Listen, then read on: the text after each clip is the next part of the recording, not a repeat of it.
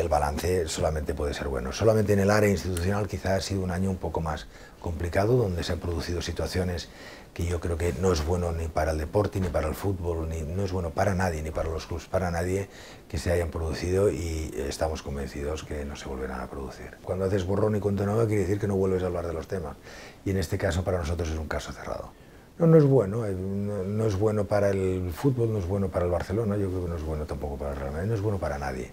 Pero bueno, en todo caso ya es historia, es un tema que está pasado. Correcto, correcto, la Supercopa el 14 de agosto en, en, el Bernabéu y el 17, el 17 en, en, el Camp Nou. Bueno, empezaremos de cero otra vez. Claro que va a haber concordia, claro que sí, no, no hay ningún problema. Cuando haces borrón y cuenta nueva, haces borrón y cuenta nueva, sobresaliente en todos los aspectos. En todas las secciones profesionales hemos tenido unos éxitos extraordinarios a niveles de liga, de, títulos, de todo.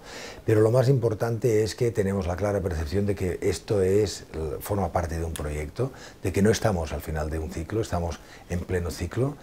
Se ha reforzado el, liderazgo de, nuestro entrenador, hay un proyecto claro deportivo, hay un proyecto institucional y por tanto ah, el balance solamente puede ser bueno. Guardiola es un señor que ya sabe él que, que, tiene las puertas abiertas para estar los seis años, los cinco años que nos quedan de mandato y, él ya desde el primer día ha dicho antes y después que él renovará año a año y estamos encantados de que ojalá renueve todos los años.